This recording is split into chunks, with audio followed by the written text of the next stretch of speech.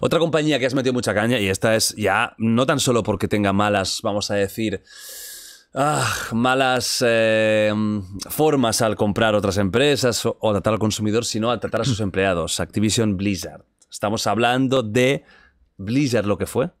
Qué pena, ¿eh? Cada juego era una. Y además salía un juego cada mil, una obra maestra. Tal cual. Yo. Era mi empresa favorita de Blizzard. Sí. Yo. Mi, mi juventud es eh, se puede definir con Diablo. ¿El 2 o el 1? El 2. Qué obra maestra. Qué obra maestra. Es una barbaridad. Y Warcraft, que es otra obra maestra. ¿Más que StarCraft? Yo StarCraft no. No pillaste el, el rollito. Yo pero Warcraft StarCraft. 3, con el tema. Coño, fue. Ojo, ¿eh? Invent- el, el que creó el género del puto LOL, ¿eh? El, el mod, un mod de Warcraft. El Dota. El, Dota viene del Warcraft 3. Sí, que un- o sea, era un mod. el mundo. Exacto. O sea, uno de los mayores eh, pro- problemas del mundo lo creó el mod de Warcraft 3. La cosa es que, mm, bueno, Dota fue un mod, lo compró los derechos, no sé por qué Blizzard se durmió los laureles, vino... Riot, ¿no? Bueno, la pre-Riot sería o... bueno, Riot se llevó a gente para Ajá. montar el LoL, pero luego vino Valve y compró los derechos de- Del Dota. del Dota, del nombre y, y se llevó a gente también y Blizzard se cagó en la puta. Y ya con los años dijo, sí, pues puso una cláusula de que todos los mods que hagan en el Warcraft 3 Reforged Ujú. le pertenecen a Ya, ya no van a crear los derechos. ¿Y qué ha pasado? Porque la gente dice, yo, yo voy a trabajar gratis para ti, cabrón. Claro. Al final es eso, es trabajar para otros. Claro, ¿Qué pasaba en Activision Blizzard? Porque eh, compañía muy mítica, una fusión, también es verdad que estaba Activision, estaba Blizzard, hay una compra, Luego King, que también se, un- se se, fusionó. jun- se junta ahí.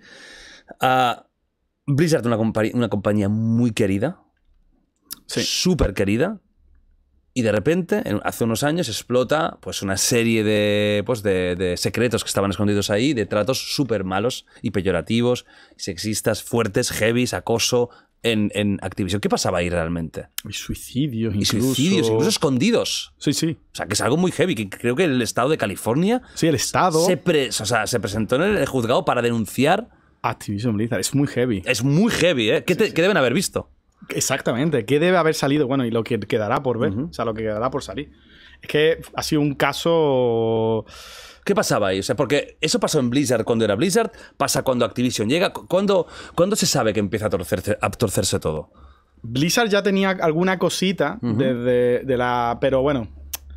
Tenía una época mm, con que salen vídeos muy antiguos de Blizzard y con comentarios machistas en presentaciones. Pero bueno, Pero eso- esa era la cultura. era una cultura de- machista de la época. De ingenieros, claro. Sí. ¿Qué, qué habría? ¿Una tía por cada 22 chicos? Tal cual, sí.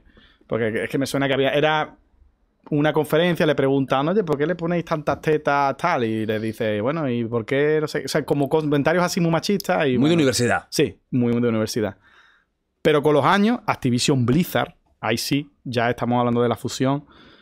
em, se habla pues de una cultura de. Se le llama. mm, cultura de, de, de lo- lo- de esto de la universidad, de los. De las hermandades o cultura, del fraternidades. cultura de la fraternidad donde lo- los chicos se hacían grupitos de chicos y decían, venga, vamos a poner porno en la presa y empezaban a hacer a, a la- a los que no, bueno, o vamos a tirarle los tejos a tal, vamos a hacer no sé qué, y a los que no le seguían la corriente, a los, los- chicos o chicas que no seguían la corriente un poco con esa cosa, pues se le, se le mm, que se quejaban masivamente a, a- recursos humanos para que, que los echaran y toda la pesca. Entonces, claro, hay una, una cosa muy turbia y luego hay un caso muy grave de una mujer que recibía acoso e incluso llegó, o sea, se fueron con su jefe, se fue a una- un viaje de negocio y llegó incluso a suicidarse por cosas de acoso con, la con- empresa. con la empresa. O sea, es un tema muy turbio que está un poco, o sea, se supone que todavía se está investigando y tiene que salir cosas a la luz, pero está un poco ahí, realmente, está un poco en el aire. Y es un tema que no sé, al final, mm, cuando se descubra es como, ¿qué? Se hace una multa y se paga, es como, ¿y quién? ¿Y ahora qué? O sea, realmente ¿Qué se hace con esto? ¿Qué se hace con esto? Esto Claro. que, que- Castigas a toda la empresa. Claro, es como al- tú, cuando tú tienes un núcleo contaminado en tu empresa, empezando por Bobby Kotick, el putísimo CEO que lo permitía. ¿Bobby Kotick viene de Blizzard o de Activision?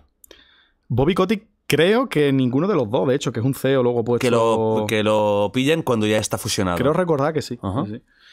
Y claro, pues... y él lo sabía. Sí, obviamente. Tú no puedes no saberlo. Cuando, todo, cuando pasa en todas tus sucursales, en todas algo... Y bueno, en Ubisoft pasaba igual, por cierto. ¿Sí? Eh, sí, lo que pasa es que Ubisoft me tiró el vídeo. el, el- Hostia, Ubisoft te tiró el vídeo por, por difamación o algo así. eh, bueno, Activision también me tiró el vídeo por acoso. Que manda cojones. Un vídeo que hablo de la cosa. eh, eh, Activision me tiró el vídeo por acoso. Hostia. Y me metieron un strike. Lo que pasa es que me quejé en Twitter Sí. y al final me quitaron el strike porque con- llegaron a la conclusión de que era contenido periodístico. Y quitaron el strike y me devolvieron el vídeo. Y, pero el de Ubisoft, cuando lo hicieron, yo era muy chiquitito. Yo tenía 20.000 subs y no hago ruido y demás. Ya ese- Claro. el de Activision Blizzard sí fui ya más grande. Hombre, claro. ya- Ya hacen más ruido y más bolas y ya entonces sí que me ayudaron. Pero Ubisoft Hostia. es lo mismo, ¿eh? O sea, Ubisoft tiene lo mismo. Era, era el mismo rollo. Y Ubisoft, Ubisoft fue un año antes que salió toda la luz. Y hubo despidos, despidieron a el 70% de la junta porque todo el mundo sabía que, o sea, se ignoraba. Eh, había emails de, del CEO, de Lives Guillemot de este, Sí. diciendo que mm, si, bueno, mientras la- las cosas salgan adelante, mientras los juegos salgan, los métodos que utilice la gente para que eso salga les daba igual. Y que si hubiera con la- la rela- las cosas que había en la empresa, le daba lo que quería era exacto, que saliera todo a como tenía que ser y ya está.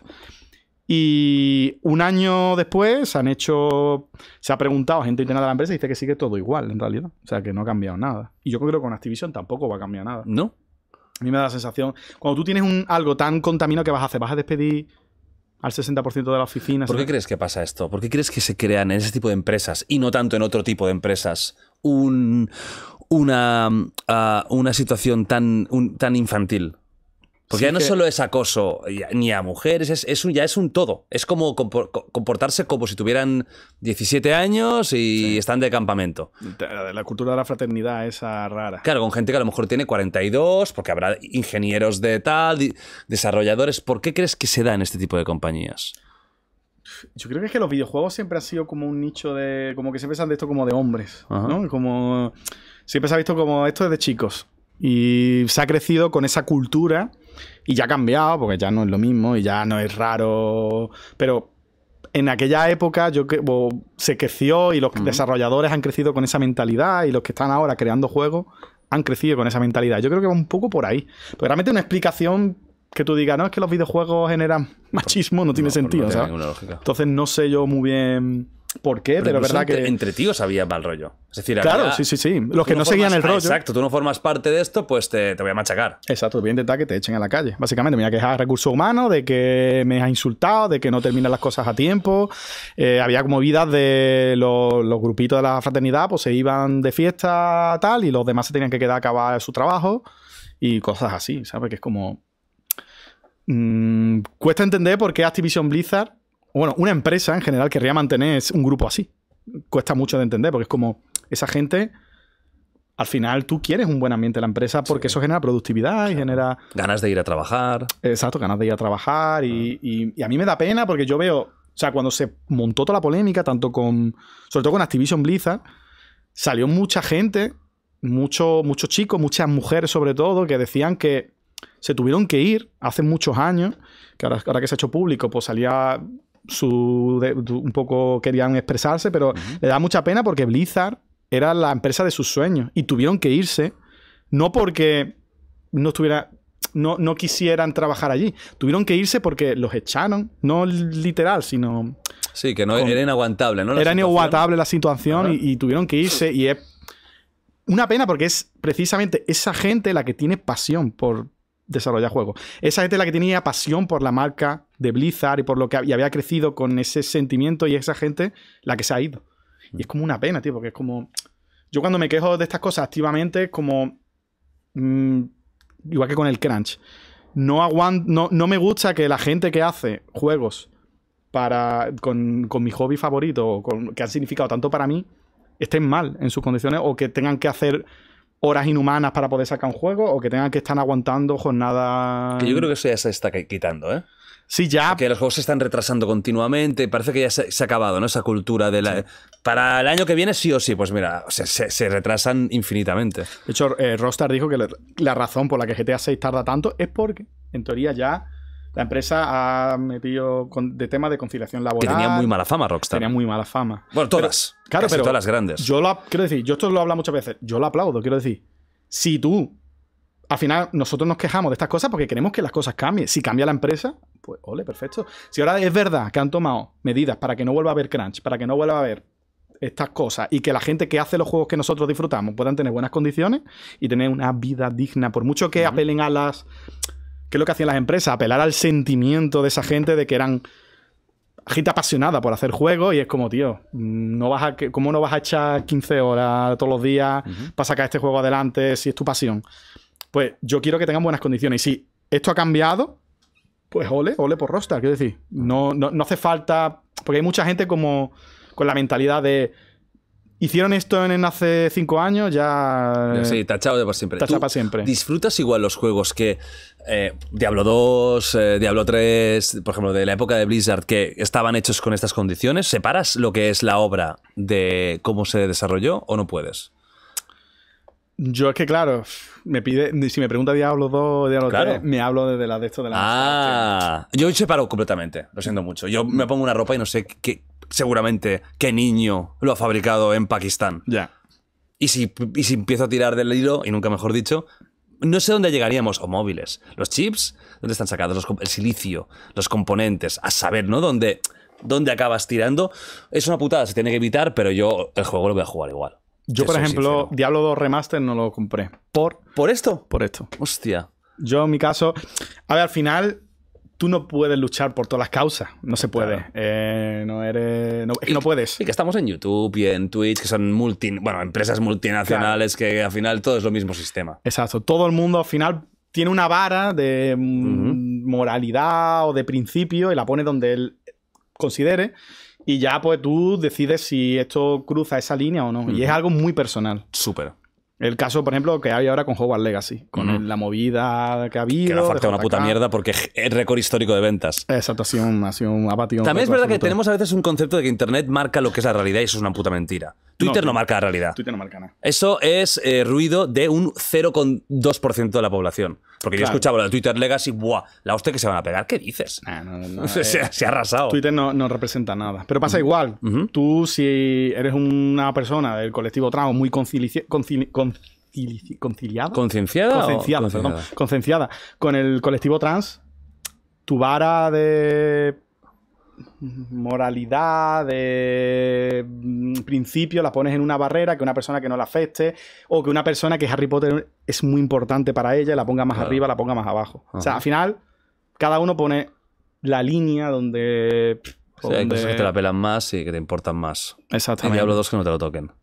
Y Diablo 2, porque no me lo toque, pero es verdad que el remaster dije, no, no lo voy a jugar. ¿Y, y algún día caerá? Y algún día, si, Ah. yo, si, ca- si cambian las condiciones, yo como... Hombre, la compró Mike. Bueno, no. Está en proceso de compra.